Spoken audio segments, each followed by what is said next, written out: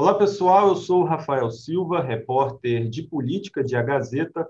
Hoje a gente faz mais uma entrevista da série com os candidatos a prefeito da Serra para saber quais são as propostas deles para o município, caso eles sejam eleitos. A gente conversa agora com o candidato Vandinho Leite, do Partido da Social Democracia Brasileira, o PSDB.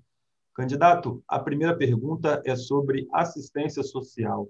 A Serra é um município muito rico, tem uma boa arrecadação, mas também enfrenta muita desigualdade social, com muitos moradores que dependem de programas sociais para poder sobreviver e principalmente agora com essa época de pandemia. Qual a política o senhor pretende implementar para atender essas pessoas mais pobres que precisam da assistência social?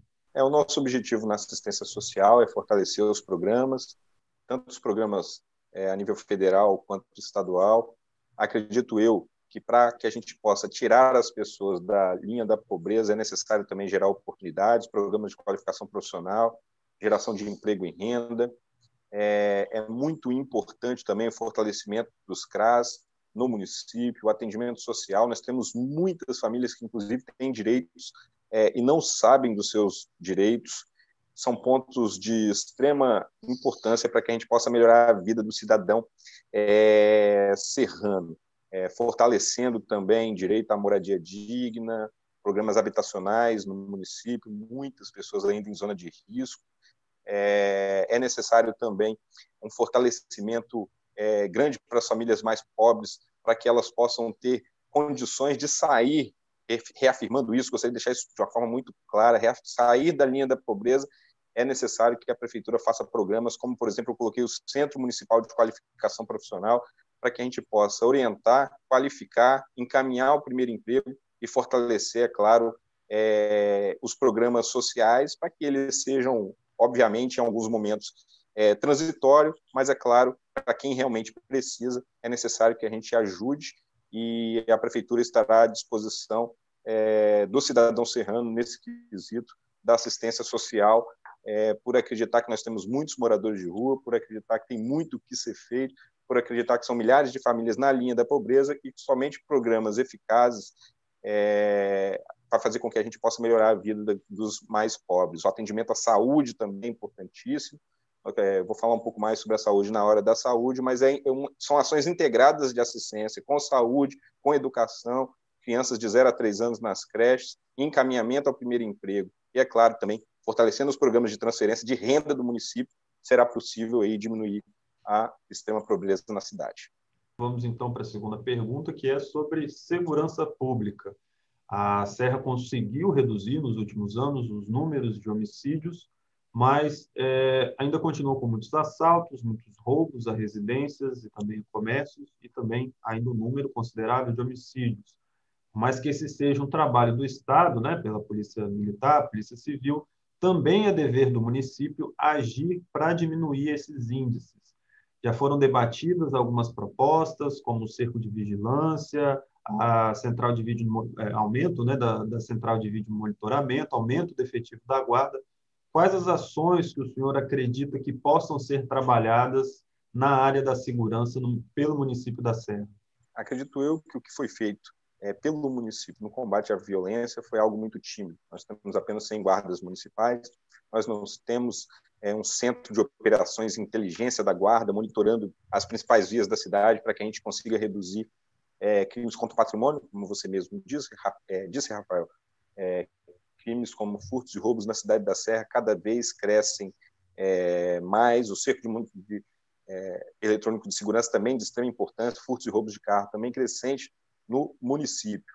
Eu vou transformar a guarda municipal em polícia municipal, vou armar melhor a guarda é, com pistolas e também armamento com cano longo de alta tecnologia, para que a gente realmente coloque o município no enfrentamento da violência.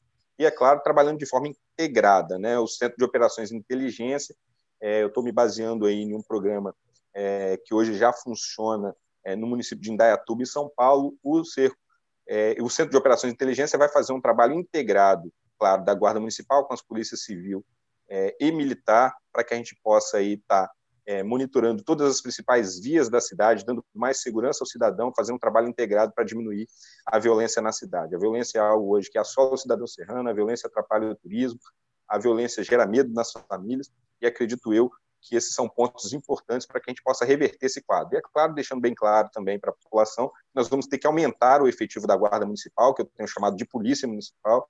Nós temos aí aproximadamente é, como eu disse, 100 guardas, Vila Velha passa de 250, por exemplo, e tem um orçamento menor do que a cidade da Serra.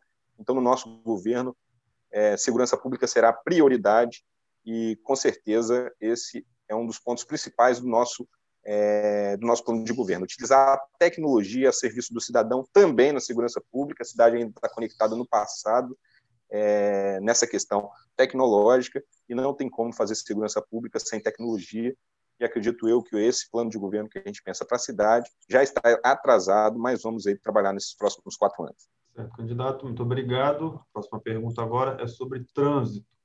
Nós temos visto aí nos últimos dias, nos últimos meses, muitos serranos perdendo a vida no trânsito, seja em atropelamentos de pedestres, acidentes com ciclistas e motociclistas.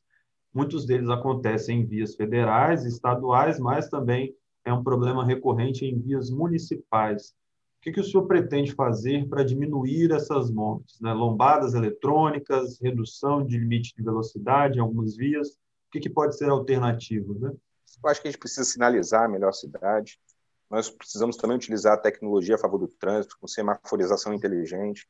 É, temos alguns gargalos na cidade que precisam ser trabalhados, é verdade.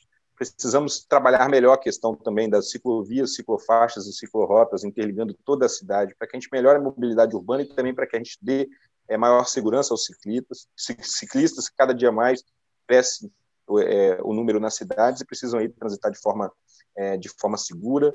É, são pontos importantes, é verdade, como você já mesmo disse, tem as questões aí é, das rodovias estaduais e federais, mas o município pode trabalhar de forma integrada para diminuir esses problemas na cidade. Tem alguns eixos, por exemplo, como o eixo é, da BR-101 próximo ao trevo de Cidade Pomar, uma obra que nunca acaba, extremamente perigoso, sempre ocorrem é, ali acidentes, é necessário uma interrupção com o governo federal para resolver aquele, aquele problema.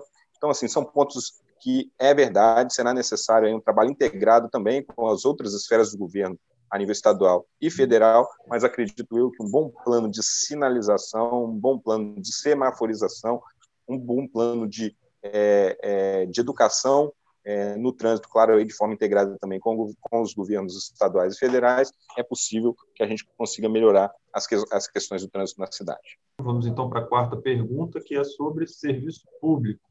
A gente abriu espaço para que as pessoas também mandassem perguntas pelas redes sociais de A Gazeta, e uma pergunta, uma das perguntas, né, um dos temas mais abordados era sobre serviço público na Serra.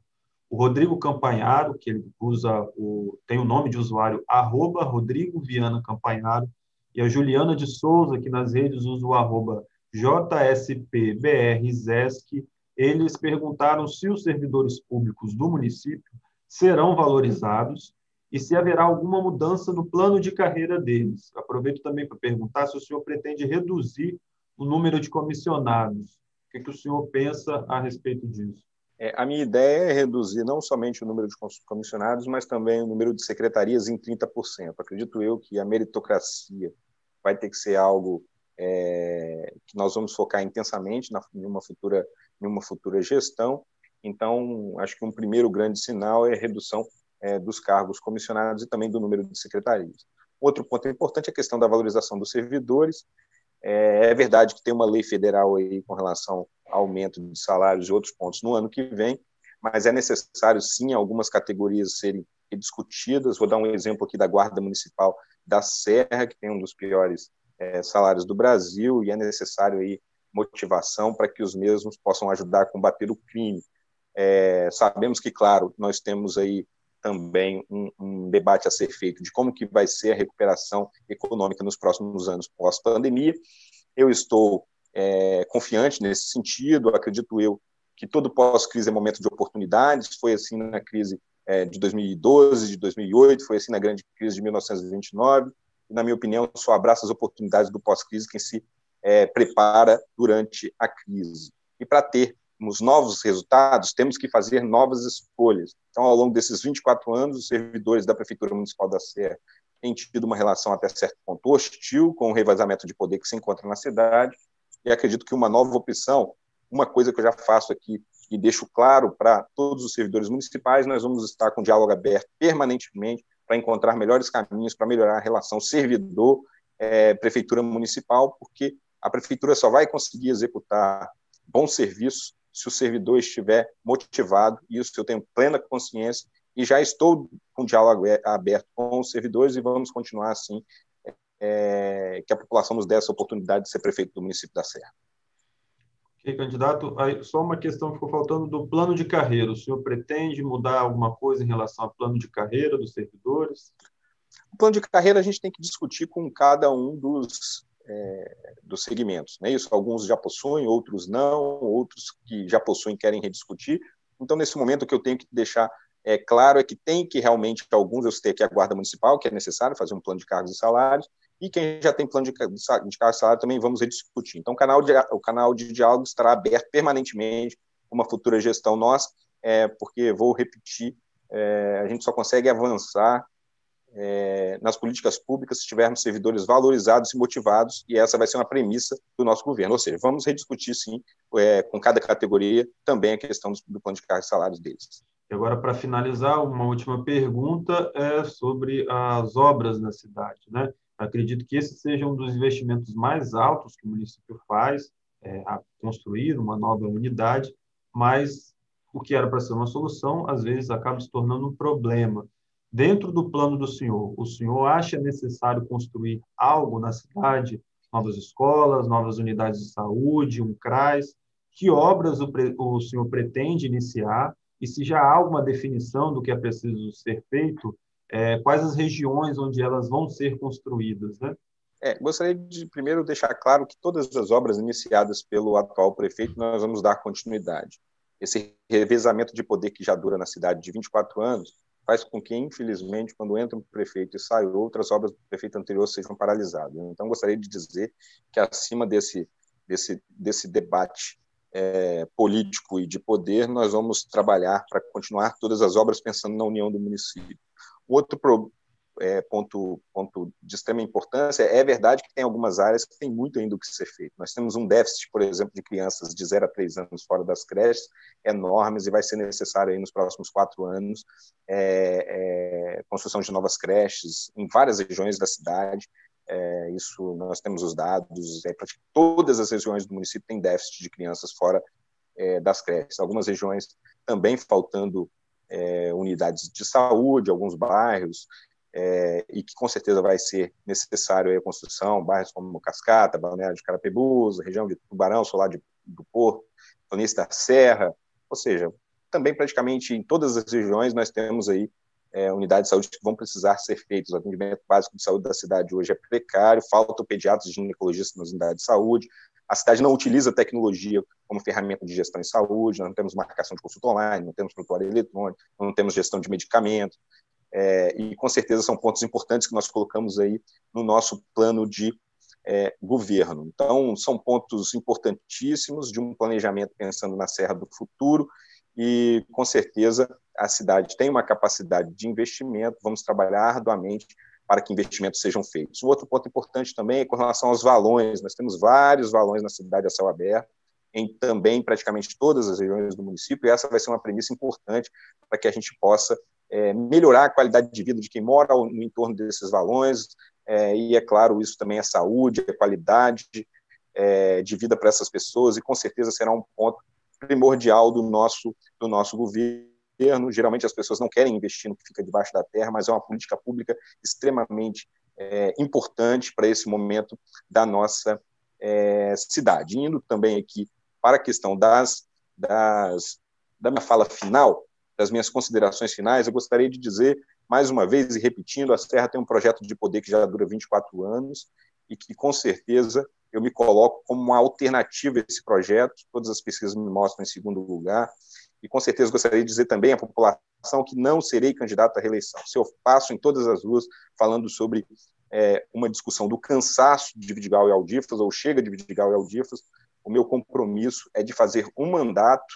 é, sem reeleição, dando é, à cidade, nesse momento, o exemplo de que o poder não pode ser o poder pelo poder, e sim um processo de acolhimento do cidadão, com foco no cidadão, trabalhando os quatro anos. A cidade tem também um histórico muito forte de que as pessoas, de que os mandatários utilizam praticamente os últimos dois anos ou o último ano para fazer investimentos pensando na reeleição.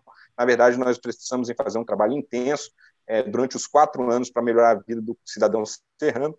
E vou repetir aqui mais uma vez, fica o meu compromisso de não ser candidato à reeleição. Então, esses são os pontos que eu penso. Um outro ponto importante é, é, é fazer com que a, toda a cidade se una em prol de um futuro melhor, mais justo, mais humano. Meu muito obrigado, Rafael, por essa oportunidade do jornal é, A Gazeta, para que a gente pudesse estar aqui discutindo um pouco sobre o futuro da nossa querida e amada Cidade da Serra.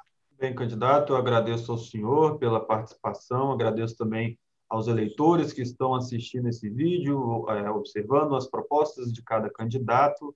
É, lembrando que em A Gazeta vocês conferem todas as informações a respeito dos candidatos, quem eles são, os perfis, as propostas deles e também as movimentações políticas durante a campanha eleitoral. agradeço e até a próxima.